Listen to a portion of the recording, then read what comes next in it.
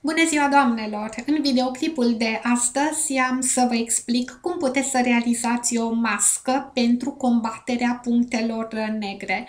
Și anume, aveți nevoie de două linguri de tărâțe de grâu, două linguri de zeamă de lămâie și două roșii mature.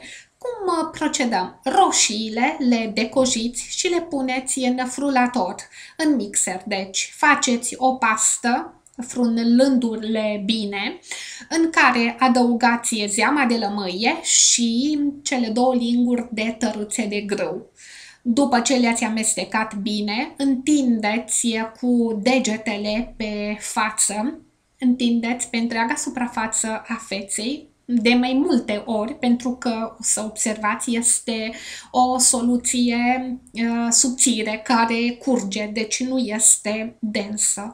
Lăsați să acționeze pe față circa 20 de minute, după care spălați cu multă uh, apă.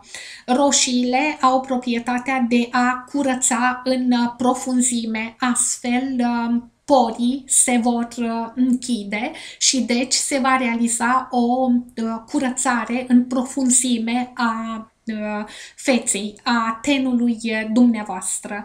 Eu sper că v-a plăcut și nu-mi rămâne decât să vă spun pe curând. Ciao!